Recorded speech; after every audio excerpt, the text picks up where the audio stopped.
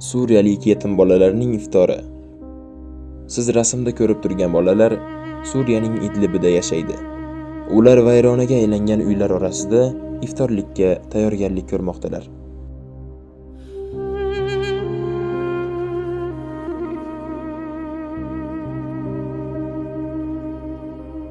Idliblik imom Ahmad Kasir bombardimonlarda otalaridan ayrilgan bolalarni to'plab, har kuni iftor qilib beryapti.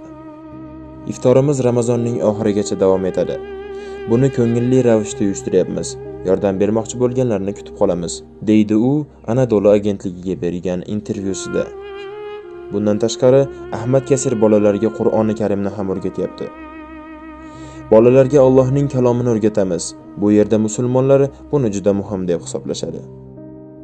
Videoga like bosing va do'stlaringizga ulashing. Bu ham bir da'vat. Assalomu alaykum va rahmatullohi va barakatuh.